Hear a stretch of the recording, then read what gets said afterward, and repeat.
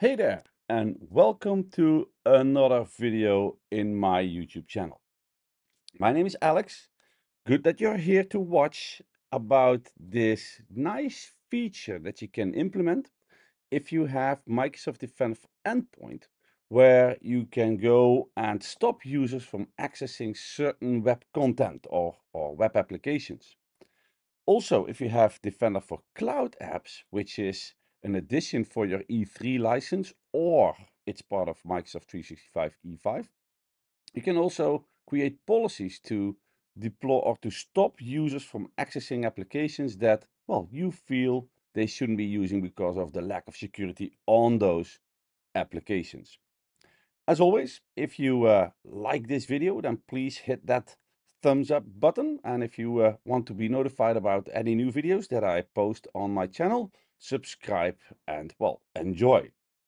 So let's get started in how we can block users from accessing applications on the web via Microsoft Defender for Endpoint and Microsoft Defender for Cloud Apps. So let's switch to my Microsoft 365 environment.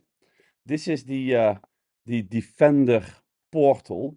Uh, actually, something that I found out recently is that you can go to this URL here, defender.microsoft.com. This will take you to the Microsoft 365 Defender environment. Usually you would go there via security.microsoft.com, but now recently Microsoft also added defender.microsoft.com.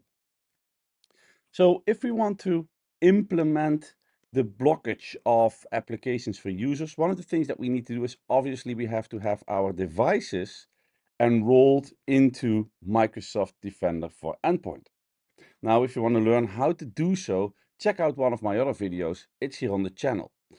Now, if devices are indeed configured to work with Microsoft Defender for Endpoint, then one of the things you might want to do is go into the settings of Microsoft 365 Defender, open up the endpoint view, and here, if we go into our management components, we have, for example, something called web content filtering.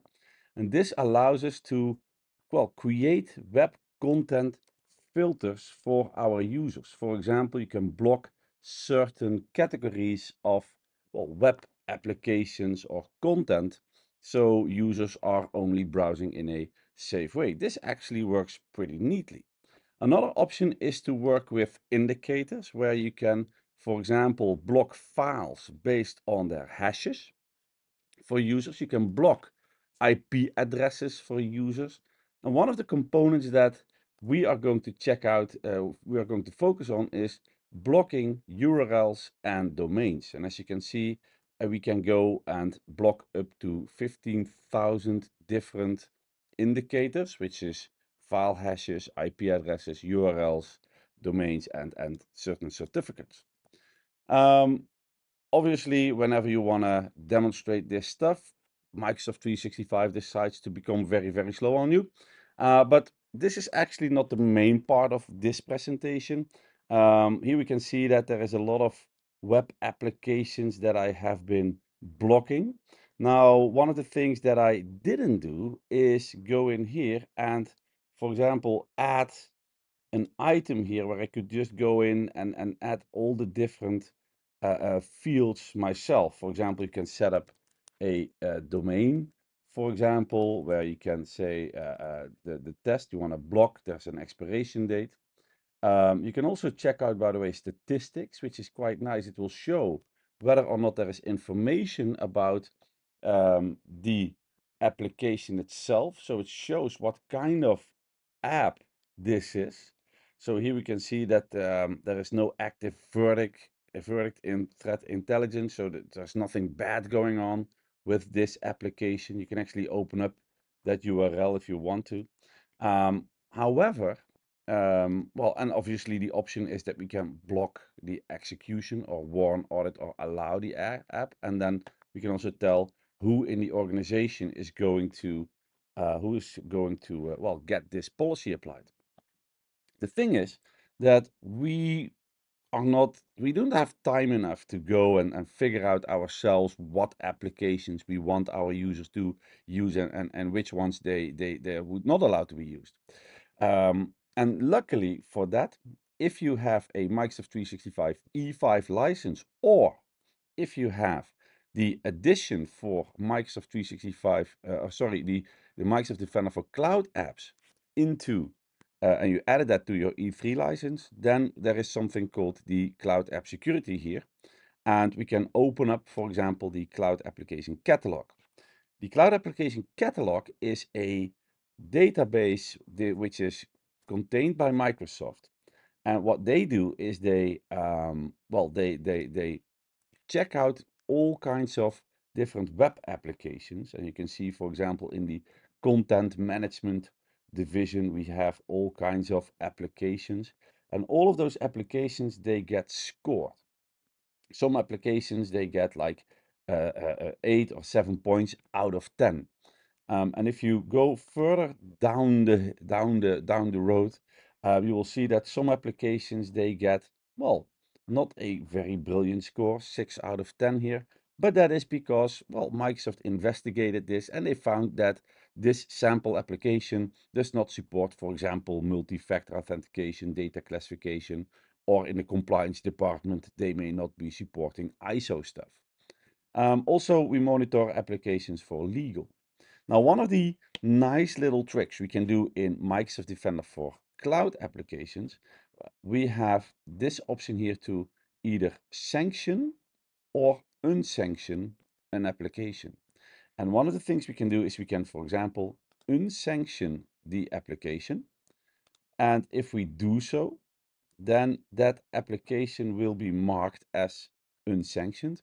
And for Microsoft 365 Defender for endpoints, this is a trigger to block access to those applications. So, for example, we could also go back to the complete list of applications. And for example, we can search for an application that I do not really like um, WeTransfer.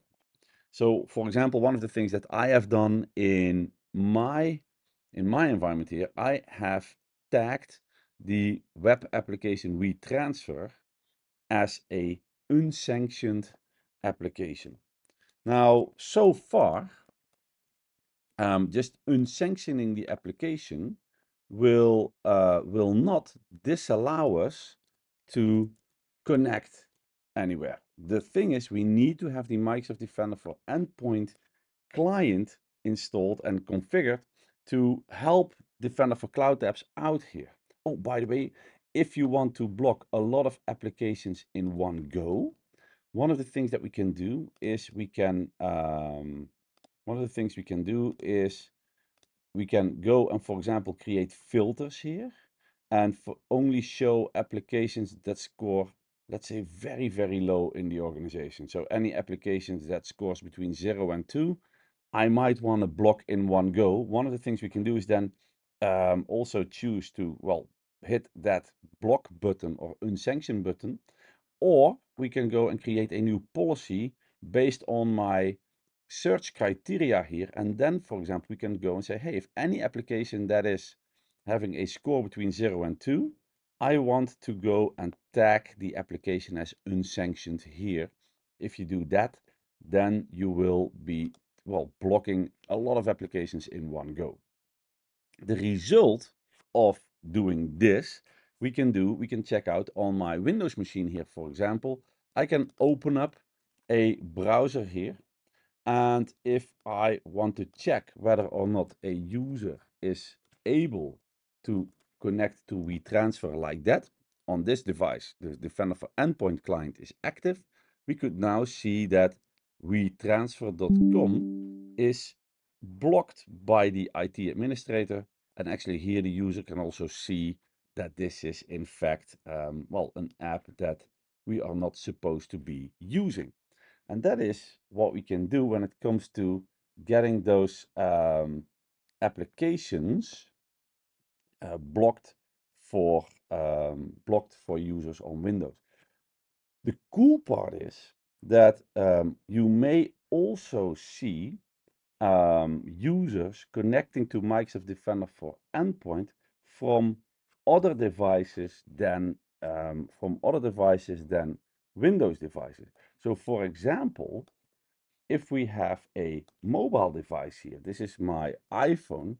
If I want to connect to WeTransfer.com, let me make sure to enter to click the right button here. Then what we'll notice is that this could also be blocked. Now what we can do here is, for example, open up the Defender app. This is the Microsoft 365 Defender for Endpoint client.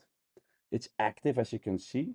Um, if I would go into my Safari browser in iOS and I want to try to connect to WeTransfer, we get an error message that says Safari cannot open this page. If I would go check back with Defender for Endpoint, we can now see that one link is indeed blocked for my user. And that allows us to, well, block applications for various operating systems via Microsoft Defender for Endpoint.